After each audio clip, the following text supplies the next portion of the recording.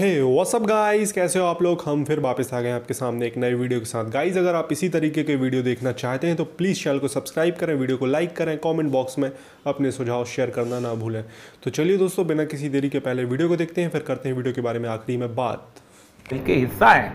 Israel उसके ऊपर प्रोडोमिनेटली कब्जा किया हुआ है। सुप्रीम कोर्ट जो है वो फैसला करती है कि जरा का इलाका जो है इसराइलियों को दे दो। ये सुप्रीम कोर्ट किसकी है? इसराइल इसराइल की है किसी और की तो नहीं है। इसराइल की जो, जो सिक्योरिटी फोर्सेज हैं वो बकायदा जाके कब्जा करती हैं लॉ एंड ऑर्डर करती हैं। साढ़े सात सौ चेक पोस्ट है पूरे इलाके के अंदर सिर्फ़ वेस्ट बैंक के अंदर। तो इसका मतलब ये है कि अपने शहरियों पर जुल्म कर रही हैं होना चाहिए कि जुल्म बंद करवाया जाए। लेकिन मसला सर यह है कि वो जुल्म बंद है। अब देखें असल मसला पता क्या है? कि इसराइल को सपोर्ट कौन करता है? इस वक्त जो कितना बड़ा नाम था कि ट्रंप चला गया और पता नहीं क्या आ गया। अब ये इसकी जो वाइस प्रेसिडेंट वाइस प्रेसिडेंट जो है जिसको बड़ी तो थी कि जी ये इंडियन जो निषाद हैं और बड़ा काम करेंगी और क्या उनकी एक तारीख बयान की गई जरा बताएँ जी सुनाएँ क्या कहा उन्होंने its control of Gaza and fires rockets across Israel's southern border. We must stand with Israel. जी और ये सब खुल्लम खुला उसने कहा है कि हम इसराइल की सपोर्ट करेंगे। देखें शायद मैंने जो कल भी बात की थी कि दो 1920 से लेके 1922 तक एक शख्स था जिसका नाम हेनरी फोर्ड था। आपको याद होगा कि फोर्ड ट्रक चलते होते फोर्ड थे। ट्रक। फोर्ड गाड़ियाँ चलती होती थी। फोर्ड अब भी बहुत बड़ी उसके बारे में कहा जाता है ये शख्स वो है कि जिस शख्स ने बुनियादी तौर पर एक गाड़ी जो थी जो अमीर आदमी का खिलौना था उसको आम आदमी तक पहुँचाया। सही। उस शख्स ने दो साल कुछ मजामीन लिखे थे और उसने कहा था देखो यहूदी जो हैं ये तुम्हारे पूरे मुल्क पर आहिस्ता आहिस्ता कब्जा कर रहे हैं और एक दिन ऐसा आएगा कि अमेरिका जो है ये एक कौमी रियासत नहीं रहेगी इसराइल की लिमिटेड कंपनी बन जाएगी। और दूसरा उसने कहा कि अमेरिका जो है ये इसराइल के तहफ़ की गैरजन स्टेट्स होगी यानी इसराइल की छौनी अमेरिका होगी। और आज हालत वही है कि ये कामिला हैरिस ने जो बात की है ये बिल्कुल। अब देखें हो क्या रहा है? इस पूरे आलमी ज़मीर के अंदर आप गुजशत तकरीबन तीस से एक साल की रवायात उठा लें। आठ नौ साल बोस्निया में मुसलमानों का कत्लेआम होता है। यानी आज की मॉडर्न तारीख में इतना ज़बरदस्त शदीद किस्म का जालम किस्म का कत्लेआम नहीं हुआ। जालम किस्म कि। एक पुल है शहरियों को लाया जाता है उस पुल के ऊपर खड़े हैं लोग और उस पुल के अंदर ऐसे काट काट के दरिया में फेंके जाते हैं। हम्म, मुद्दतों ऐसे था कि बेचारे अपनी जिसे कहते हैं रिफ्यूज जो होते हैं गंदगी जो है खिलादत दोबारा खाने पर तैयार मजबूर हो जाते हैं। पूरा का पूरा सर्बिया खड़ा हो जाता है और जब वो मुकम्मल तौर पे डिवेस्टेट हो जाते हैं तबाह हाल हो जाते हैं बर्बाद हो जाते हैं फिर कहा जाता है इनको जनाब आप कुछ करो। और फिर आप आ जाते हैं इंटरनेशनल कम्युनिटी क्या क्या बिठा के कल। तबाह हो जाए उसके बाद आ जाए रोहिंग्या। दुनिया कहती है कि एक आदमी जहाँ पैदा होता है नाम नेशनैलिटी उसका अपना एक बुनियादी हक है। उसका ज़मीन उसी की पैदा होने वाले की ज़मीन जहाँ पर होता है। दस लाख से बीस लाख तक रोहिंग्या हैं कोई उनको कोई पनाह नहीं दे रहा उनके जहाज़ जहाँ घूमते हैं मलेशिया के साहिल से घूमते हैं इंडोनेशिया के साहिल से घूमते हैं दो दो ढाई ढाई महीने समुद्रों में रहते हैं समुद्रों का पानी पी पी के बीमार हो जाते हैं। कोई कम्युनिटी खड़ी होकर ये नहीं कहते कि आओ हम तुम्हें पनाह देते हैं। हालाँकि United Nations High Commission for refugee वो अदारा है जिसके मैंडेट ये है कि दुनिया के अंदर अगर एक भी कहीं रिफ्यूजी है तो वो उसका वारस है उसका वाली है और उसके लिए दुनिया जो फंड देती है उसको। वो आसमान से नहीं आता। हम सारी इंटरनेशनल कम्युनिटी कंट्रीब्यूट करती है। ये कैफियत जो है ये गजा की है कि इस वक्त एक हर कुछ सालों के बाद एक कैफियत पैदा की जाती है।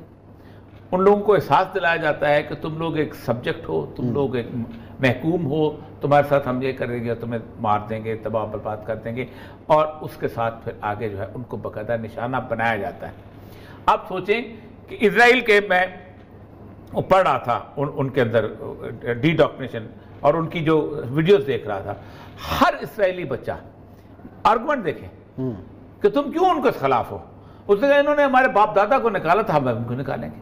हम्म, जो बाप दादा तो तुम्हारे चार हज़ार साल पहले निकले थे भाई और तुम तो अभी आए हो ठीक? चलो उसके बावजूद भी। उन्होंने अपने बच्चों को पढ़ाया और पढ़ाया। में डाला। अच्छा फिर दूसरी बात यह है कि इसराइल जो है वो वाहिद रियासत है जिसके अंदर कोई फौज नहीं है। हम्म, हर बंदा जो है वो दो साल के लिए कंपल्सरी फौज के अंदर जाके नौकरी करता है और हर बच्चा जो है एफए जो है में आ नहीं सकता जब तक वो दो साल के लिए ट्रेनिंग हासिल ना करे। तीसरी चीज़ ये जिस वक्त वो उनको मार रहे होते हैं तो बकायदा उसकी वीडियोस दिखाई जाती हैं। आप देखें ना अब अल जजीरा और ये बाकी लोग जो वीडियोस दिखा रहे हैं ये जो इमारत गिर रही है ये सर मैं इसके बारे में हमेशा कहता हूँ कि हमारे मीडिया ने बुनियादी तौर पर लोगों को इंसानों के मजालम से बिल्कुल नाशना कर दी हमारे नज़दीक ये बड़ी शानदार किस्म की हॉलीवुड की फ़िल्म है। हमें बिल्कुल अंदाज़ा नहीं होता है कि इसके अंदर दो तीन सौ लोग भी हैं चीखे मारते हुए मर रहे हैं इसके अंदर। बच्चे भी हैं औरतें भी हैं लोग भी हैं काम करने वाले लोग भी हैं जिनके ऊपर। उनको कोई वार्निंग तो देकर तो उनको मन नहीं फेंका- जाता। ये इराक में हुआ था जब एम्बेडेड जर्नलिज्म तो पूरी दुनिया और वो माइट दिखाई जाती है जैसे वो कह के लगा के हंसा करते थे रोमन गेम्स के अंदर। जब ग्लैडिएटर्स को छोड़ा जाता था और उनको शेर और जंगली भूखे दरिंदे उन पर हमलावर होते थे जब वो तिक्का बोटी किया करते थे तो लोग हँसते थे। तालियाँ बजाते थे और कहा जाते थे कि क्या बात है रोमन किंग ने हमारे लिए कितनी खो ये रोमन किंग्स की। आज से तकरीबन चार साल पहले जब गजा पे हमला हुआ था तो इसराइली बच्चे एक दीवार में बैठे हुए थे नौजवान दीवार में बैठे हुए थे और वो दूर से उनको भागते हुए पना लेते हुए ऐसे कुछ कर रहे थे। एक फ़र्क सिर्फ़ पड़ा है और वो फ़र्क है सोशल मीडिया का। सोशल मीडिया ने इस दफ़ा कम अज कम इसराइल के मुकाबले में फिलिस्तीनियों की कुछ आवाज़ ज़रूर पहुंचाई और मैं सच्ची बात बताऊँ कि वो बड़ी कमाल एक मतलब जो बच्ची का जो बच्ची, 10 साल बच्ची, दस साल कल हमने भी दिखाई। कल हमने भी दिखाई थी कि I am ten years old दस साल बच्ची बड़ा ज़बरदस्त मैसेज वो- बहुत बड़ा मैसेज। मैसेज बहुत बड़ा मैसेज लेकिन उसके बावजूद भी इंटरनेशनल कम्युनिटी जो है इतनी बेहिस है। मैं अक्सर कहता हूँ कि शायद लेकिन ये देखें कि मगरबी मुल्कों में लोग बाहर निकले हैं। उसकी एक वजह है उसके उसमें दो वजह हैं। दो वजह हैं। एक तो यह है कि मगरबी मुल्क जो है ना इस वक्त अयाशी से फारग है। उनका कोई कॉन्सर्ट नहीं चल रहा उनका कोई बॉल रूम नहीं चल रहा उनका कोई निकले तो पहले जब इराक वार के दरमियान भी पूरा इराक वार प्रियम- इराक वार निकले हैं जब तक गए नहीं थे। जब वो चले गए फिर एवरीबॉडी सपोर्टेड कहा कि ठीक है फिर तो हम चले गए। वो निकले। अब जमीर है जमीर ये इंसान का जमीर कभी नहीं मरता था दुनिया में हर जगह हर जगह। फ्रांस ने अला बुरा मुल्क है जो कुछ भी फ्रांस ने कहा सीज फायर सीज फायर का लफ्ज बुनियादी तौर पर गलत है। अच्छा अब आते हैं कि इस वक्त बाकी लोग जो हैं वो हमास क्या कर रही है दूसरी चीज़ लोग क्या कर रहे हैं इलाके के लोग क्या कर रहे हैं।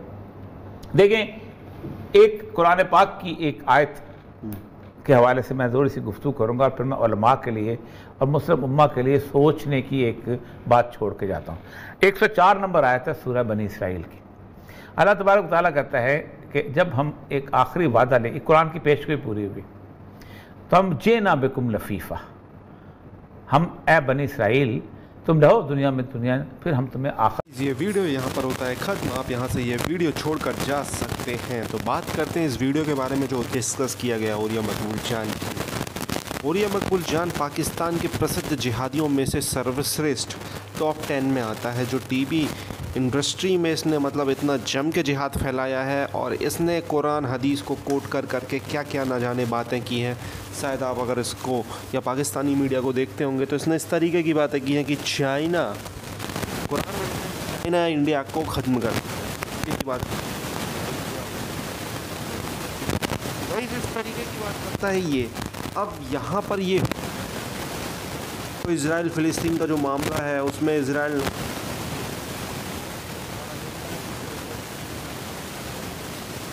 वॉयलेट ना करें वापस करें।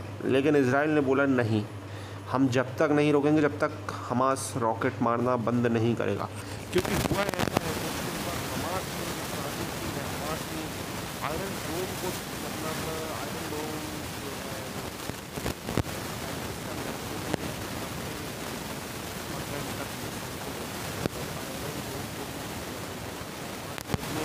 दिए कि जो नब्बे सौ में से नब्बे रॉकेट तो हवा में ही ख़राब हो गए, लेकिन दस रॉकेट जो इसराइल में पहुँचे, दस रॉकेट से अगर एक बंदे भी इसराइल के मरे तो आपको ही पता है इसराइल सौ से ज़्यादा तो उसी चक्कर में इसराइल नॉन स्टॉप बिल्कुल टेले जा रहे हैं। और इस बार इतना कमर तोड़ेगा हमास की कि शायद वो अगली बार उठने के काबिल ही रहे। तो इसलिए नॉन स्टॉप को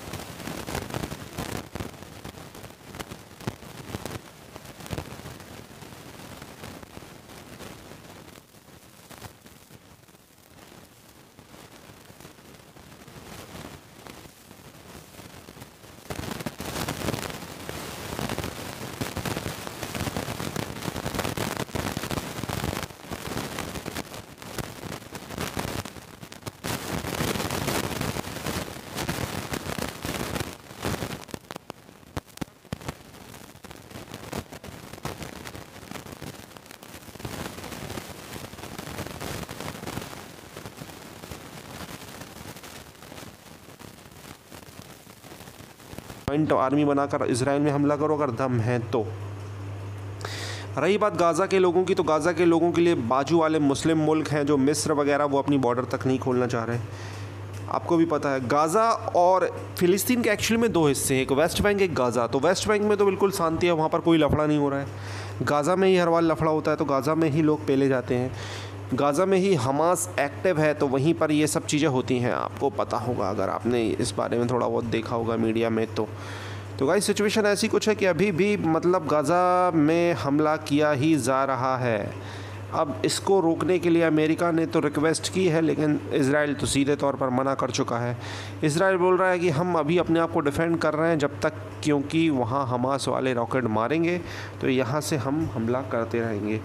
तो आने वाले समय में देखते हैं दोस्तों सिचुएशन बनती क्या है। हालाँकि पाकिस्तान का रोना तो आप देख ही रहे हो। पाकिस्तान के जैद हामिद जैसे लोग बोल रहे हैं, गज़ा में अगर हमला हो रहा है तो पाकिस्तान के पास एक अच्छी अपॉर्चुनिटी है। अल्लाह की हमारे पास ताकत है, हम गजवा हिंद और इसराइल को ख़त्म दोनों एक साथ कर सकते हैं। इस तरीके के पाकिस्तान में बेवकूफ़ हैं।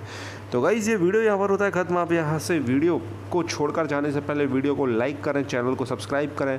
बेल आइकॉन को प्रेस करें, शेयर करें। धन्यवाद दोस्तों वीडियो देखने के लिए, जय हिंद।